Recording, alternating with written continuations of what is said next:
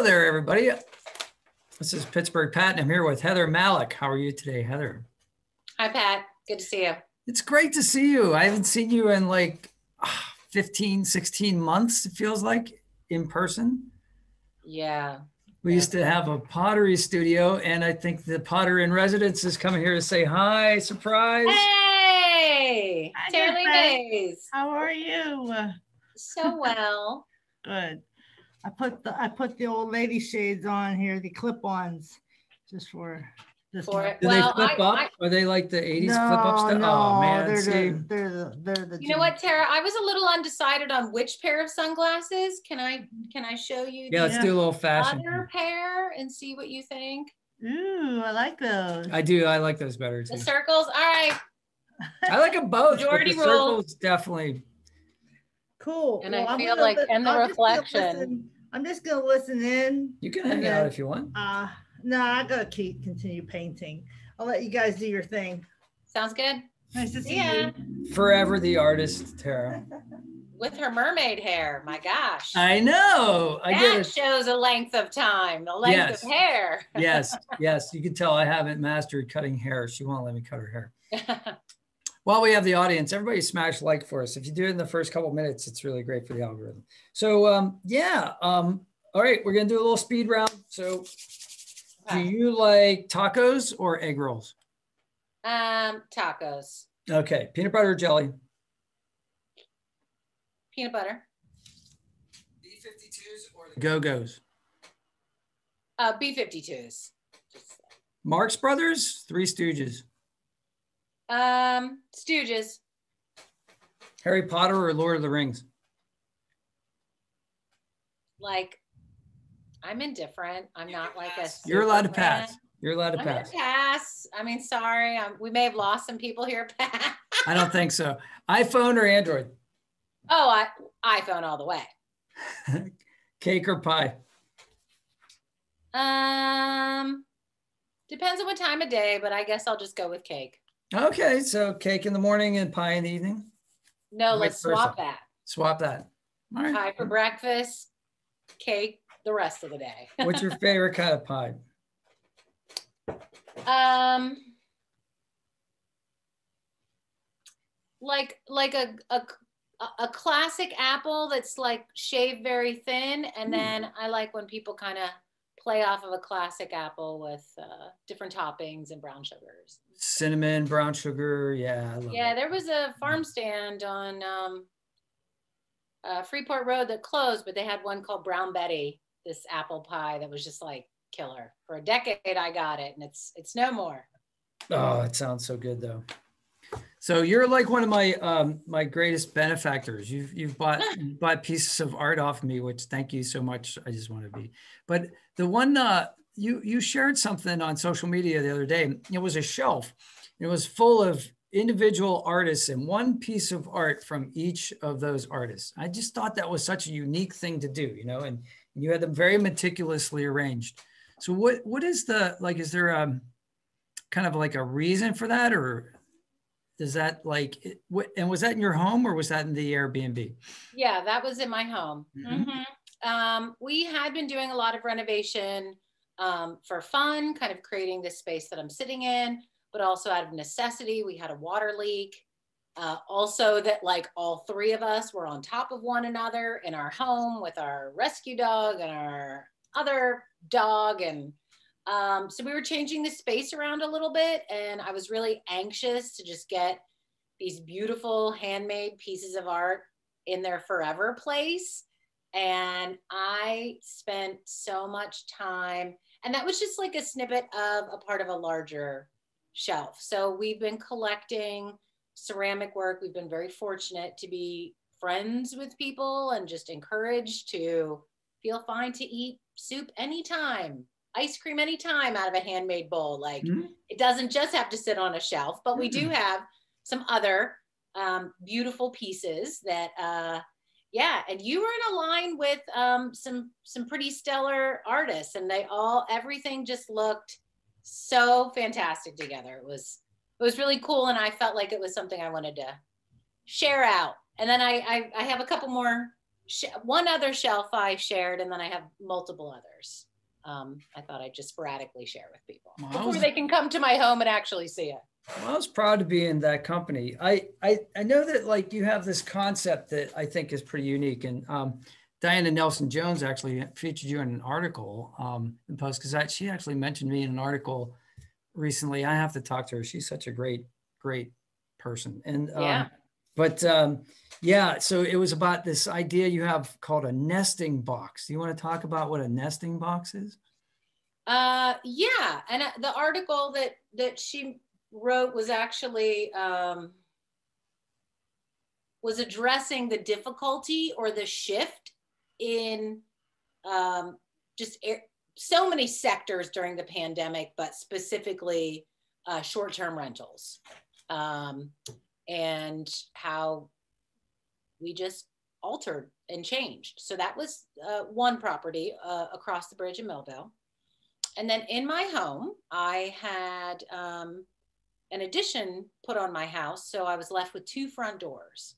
And my architects were like, I mean, like who who wants two front doors? Like close one up. And I thought, no, no, no, no. If I don't need to spend the money, I'm not going to.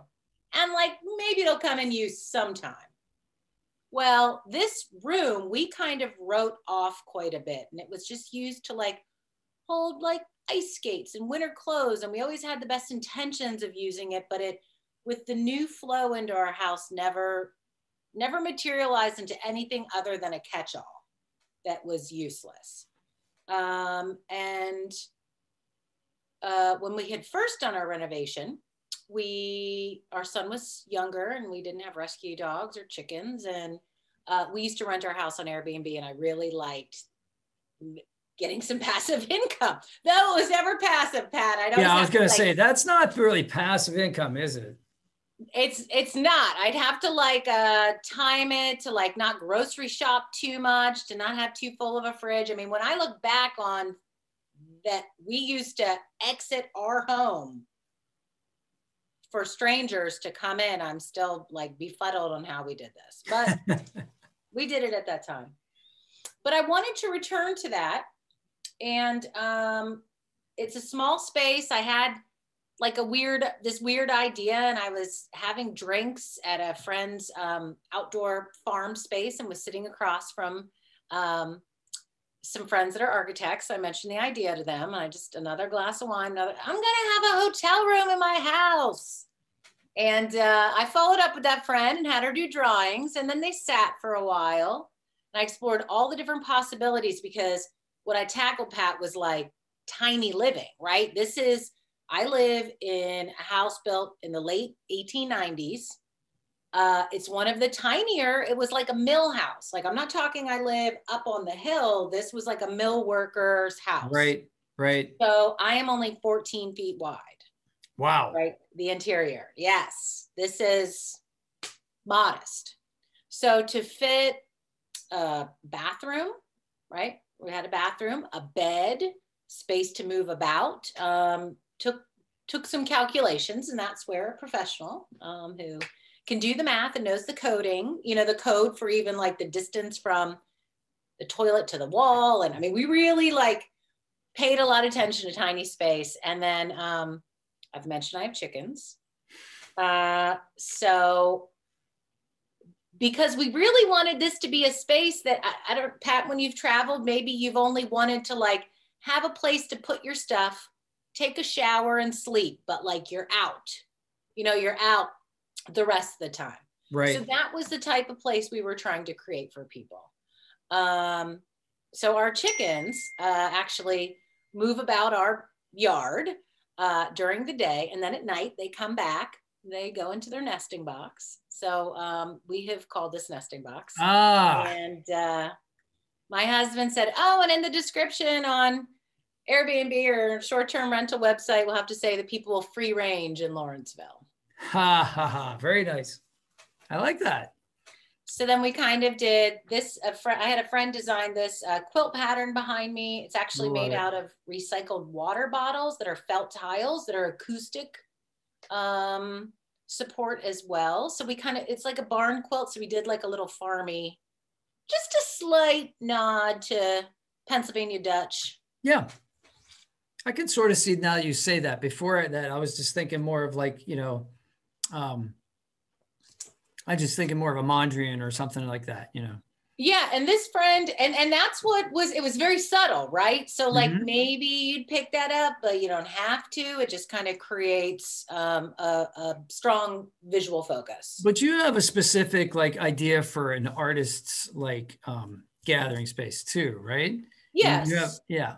So um, with nesting box, the idea is that we would have people come and stay and pay, and uh, before we've listed it, and it's been such a process in here, kind of making the space feel just perfect Mhm. in the limited footprint. So I'm sitting here at a desk in front of the window that goes up and down, and we have folding chairs um, that that oop, um, that are that are against the wall.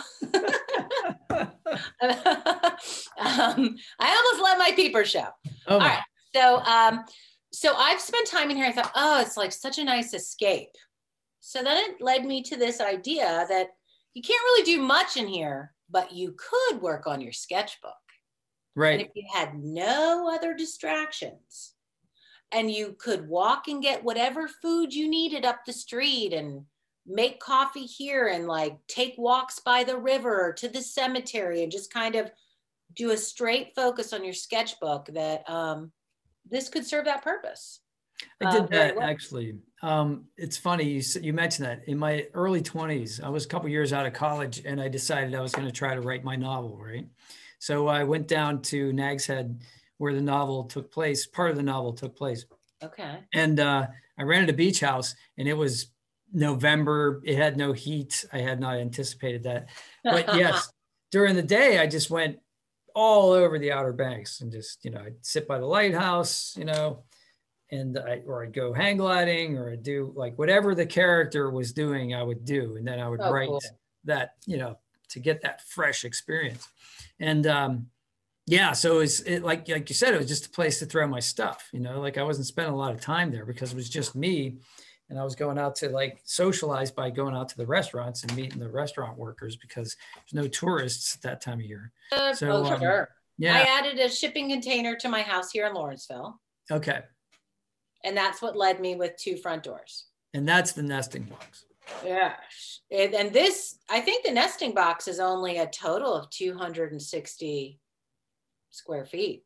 If it's, if even that, I mean, it's really, it's really quite tiny. Okay. It's more like an RV. Okay. Yeah. It feels, it feels like an RV. Um, the other space was a house, a similar age, late 1800s. Um, oh, sorry. So here I added the shipping container and we did a big renovation. My husband said, Great, you like this. Go somewhere else with someone else's money and like do it. Like you got to chill out here. That was a few years ago because I have I have managed to do other projects here. Uh, I found a house. So Millvale's just across the river. Very cool. They have a music festival that luckily I just saw them put signs up that it's gonna happen. Yes. I'm excited to go. I, that's probably going to be my first music musical event. yeah. Really excited. Yeah. Mhm. Well, the arts festival is coming up, but that's Oh, that's true. Little, that's a little soon, and you know, I think that's in a, a We'll week. scope it out. We'll see. Yeah, yeah. Um, so the house I found was condemned by the city. Um, there were like numerous kinds of animal feces in this house. Um, what water can do damage wise is Oh. shocking. It's your worst enemy as a homeowner. Water. What in, what invasive um, growth can do. I mean, we had like trees growing into this house because water had been damaged over the years of just collecting. Um, so I took it on myself because it is in a perfect location, and I saw the charm to it. It's right between uh, Grist House, um, which is a very popular popular brewery, and Mr. Smalls, which is a very Mhm. popular music venue. Ah, the best. And ma- I mean, in my opinion, all the all the shows that I want to see come to Mr. Smalls. yeah, You know, they're Or just, did. they're just And the right again. guys. Yeah, it's awesome. That's a great it's a great venue. And if you walk down the hill, you can go to Jean Marc's, right? And uh, one of the best patisseries in the city. Yes, and actually, I think I sent you. So maybe if the graphic can pop up, I had an artist do a hand drawing of Millvale as a map, kind of showing all of the different cool features in walking distance. Smart idea. And um, had Juniper Place located, you know, at the center of it all. I love the name Juniper Place. That's a great name. Thanks. The house was green when we got it, and we tried to stick with a his, historic color. It was also like, I mean, this took a year to basically rebuild the entire house, but the neighbors would come by and, and really enjoyed watching the process and really appreciated this being done. I mean, Sure. it was, uh, you know, the, the neighbors uh, a couple doors down that had a small child was like horrified by this house. It was like the haunted house. Oh, okay, gotcha. Yeah, Well, no, every- no, not the green I went with. Every neighborhood has to have the haunted house, you know? yeah, well, this has been, you know, turned around. So it's it not was the, it's, it's not even like it remotely looks like what it used to. I mean, from if it's you know the one where they had the drone going down and that's the tour that I was thinking of. yeah. My goodness, and the view from you know of the of the river just amazing. So So we're dog friendly. Um, that has worked out really well. Um, and right now we have. Um, are you a Game of Thrones fan? I know Game of Thrones very well. I'm not like a super fan, but um, we have a Netflix producer and her partner, who I guess his whole family worked on Game of Thrones. Oh, cool. um, are staying here. They moved over from another Airbnb when ours um, became available because we've had actually a lot of people, Pat, in this house, which is not a huge house, but it's comfortable enough. It's way better than a hotel. I have had, I think this will be before before these current folk that just came yesterday. Mhm. Uh, six people in a row who were moving to Pittsburgh to find a house and didn't know where they were going to live. So rented our place for a very long chunk of time. so they can explore and find out where they want to live. That's wonderful. Actually, it's funny you mentioned Game of Thrones because uh, I interviewed a friend of mine, uh, Jeff Geisler, and he used to live in Santa Fe, and he was a reporter in Santa Fe, and he actually interviewed and went into the home of the man who wrote the Game of Thrones books. So Wow. yeah, so that's uh so we'll have to link that interview in the description. But like it's amazing how um all of these kinds of ideas, these concepts, they all like flow together. Because when you're talking about the tiny house, another interview we did uh, with uh, Diane um, Turnshek, she's an astronomer. Um, oh, I know Diane. you know Diane, I do know Diane. she has a tiny house, and in fact, I did know that, but I don't know good details. I'm they gonna have to built it off site. And if you watch that interview, she talks about the process. They loaded on a truck. They had to raise like the the uh, traffic signals and and take it to her to her lot. Yeah. So um, yeah, that's pretty wild. So well, you, me, and Diane will have to get together sometime.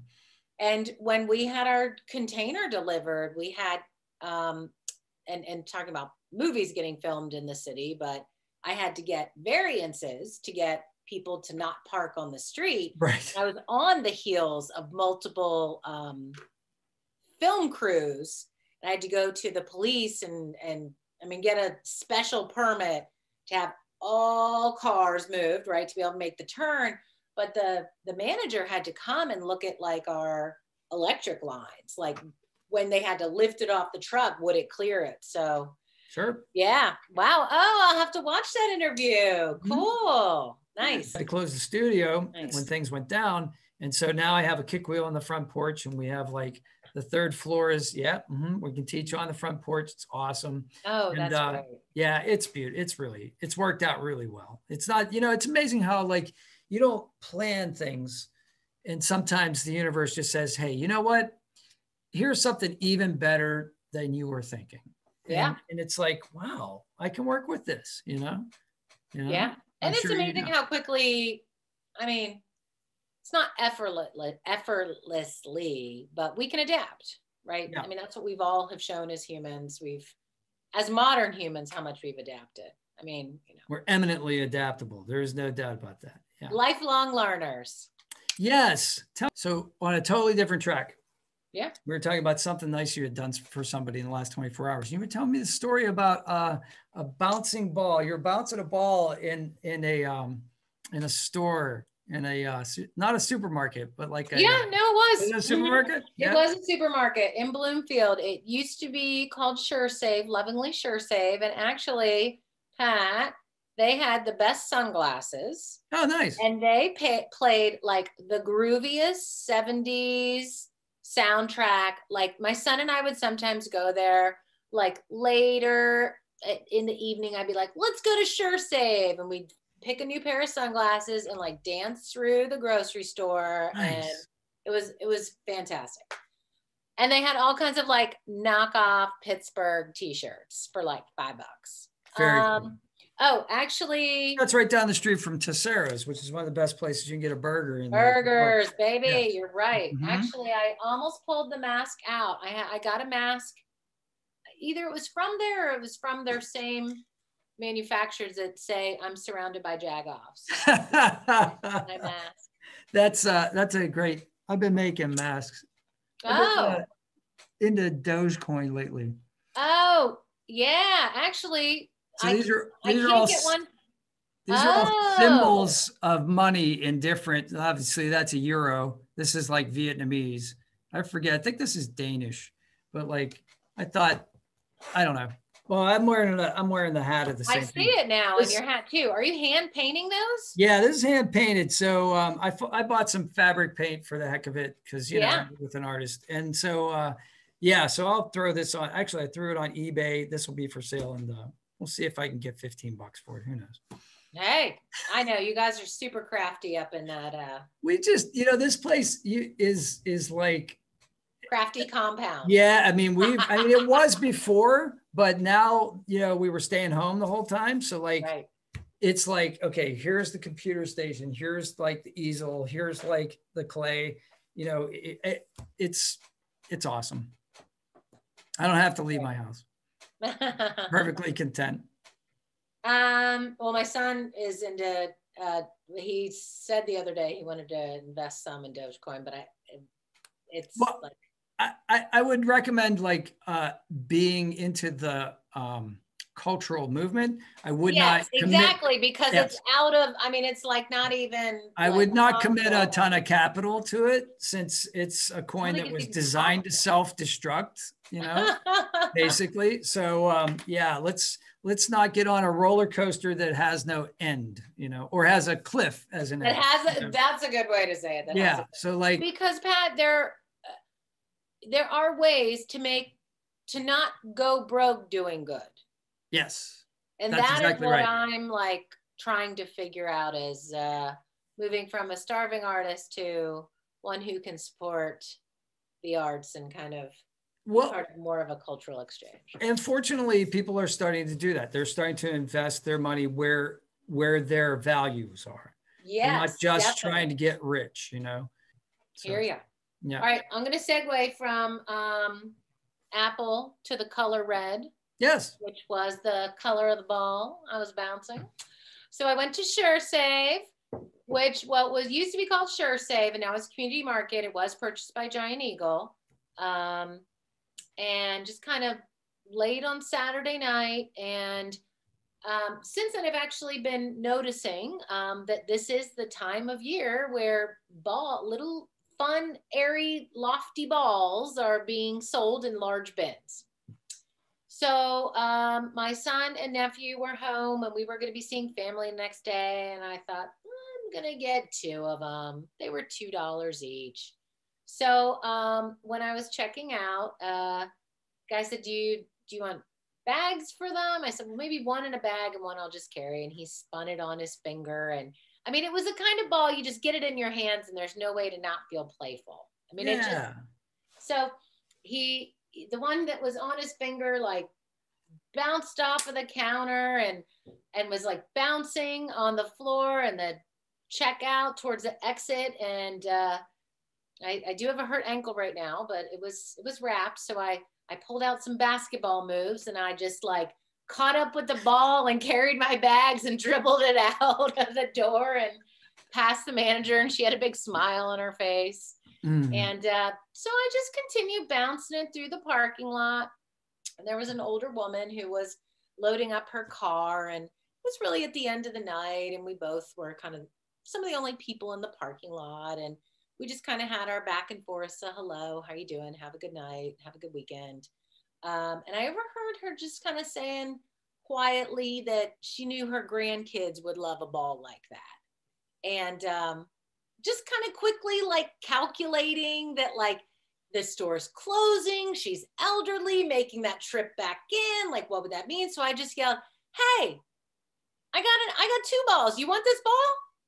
And I went over to her and you know, I think something that's really important is just accepting help or kindness when people are offering it. And she didn't skip a beat. I mean, she said, I mean, since you're asking, yes, I will take that ball. I said, yeah, sure, enjoy it.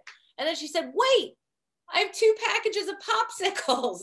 And she held these frozen popsicles up. She said, pick one. I want you to have one. And um, I picked one and I said, thank you. And my husband was sitting in the car and he was like, what kind of stuff just like goes on with you? Huh? Mm-hmm.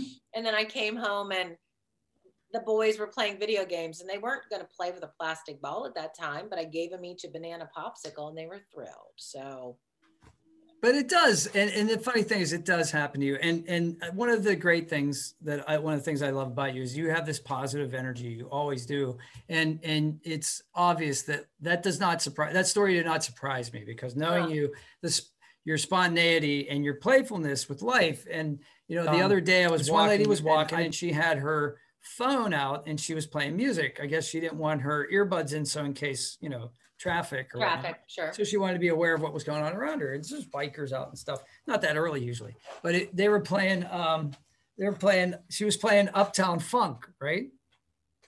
And I couldn't help it. I just couldn't. I mean, like, so um, she's just about to pass me and i went don't believe me just watch woo! And i did a little spin and i think i freaked her out you know? Like she was like oh my god! And i'm like i'm sorry but you were playing the music you know? And then we laughed about it but i realized i probably could have got maced you know? So uh, but only if like, she had had a cup of coffee first because you know that that early in the morning you may be delayed in any responses. Well she was walking she was like moving like she was out for her exercise so she was fully awake, you know. What's up, babe? Nothing. I'm in between colors. Yeah. oh, let it in a let watch and paint dry. We're yeah. better than that, huh? Yeah, just taking a moment. Great.